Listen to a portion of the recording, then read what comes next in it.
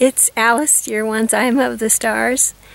And I had to just a few suggestions for you with regard to religious war and how this great hero- heroism and courage of, um, of men of, of, with great religious like convictions all over earth is being exploited by, by the dark side, really, the darkness, to to create wars, which create um, which are said to be for the sake of religion. And you and I both know that war and religion are really like polar opposites, right? This is duality, this is polarity here, and that is very expectable. People of religion may wish to consider standing for peace and not for war. Okay, not in any circumstances you know. So, uh, unless their home turf is invaded, you know. But if we all said that, nothing would ever happen in the way of war.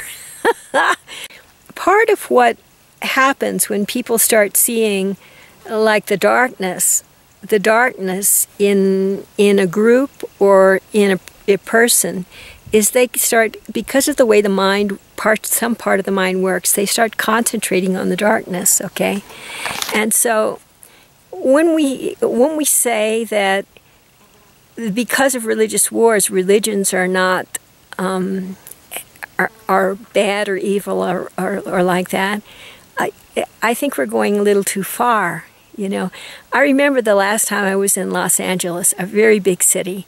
Uh, I, I had become more and more sensitive, and Los Angeles was was releasing all kinds of mental chaos and emotional chaos at the time that the last winter when I was there. Right, the safest place that I found in my general area was a big church on the edge of the town a little bit up the hill, so there it was less populated there.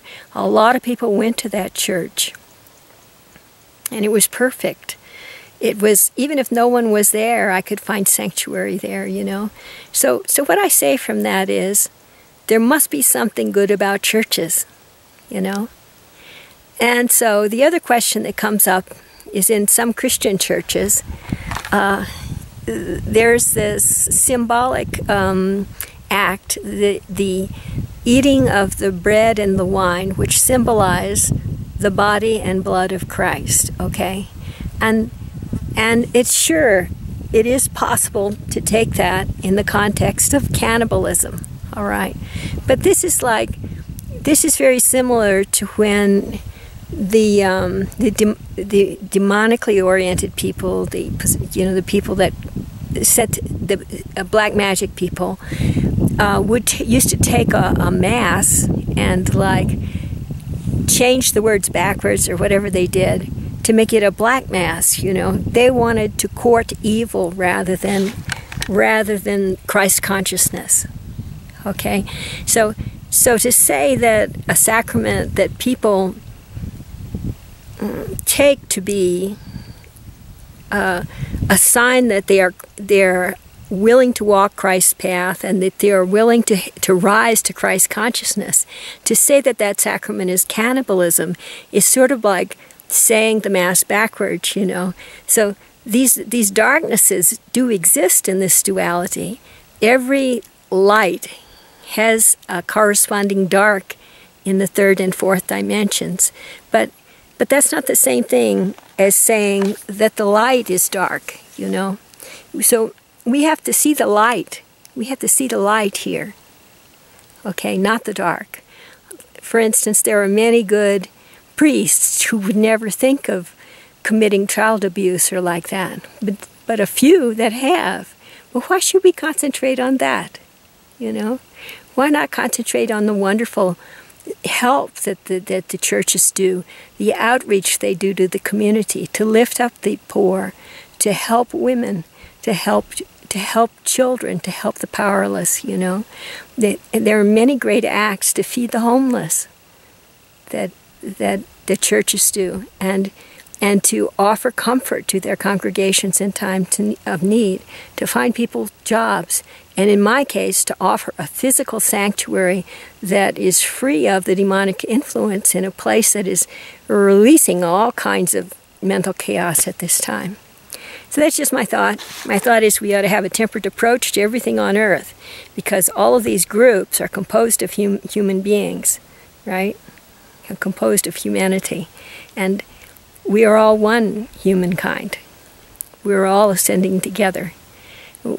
We can all support each other in this.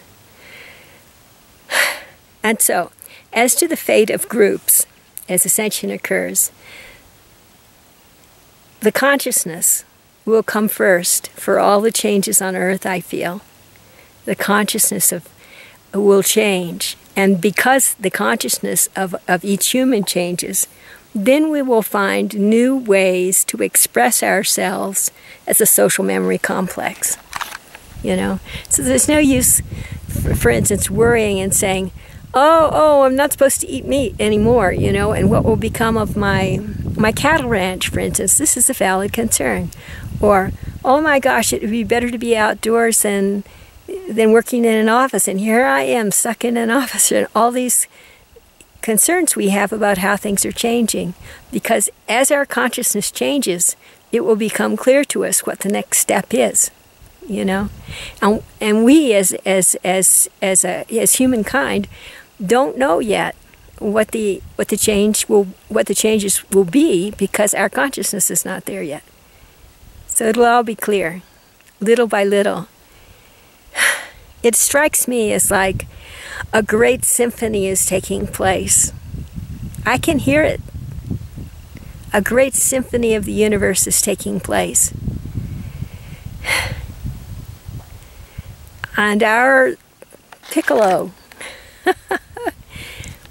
blends with the cosmic sound so beautifully, you know.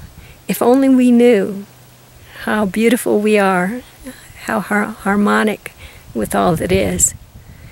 If only we knew how how easy it is to rise to that understanding, we would have no concerns at all. There would be no there would be no discomfort in this process. I, I know this to be true with my heart. And sometimes I falter. I understand. Sometimes I do falter. so I wish you sureness in your steps and a sure path forward. God bless you all. Bye bye.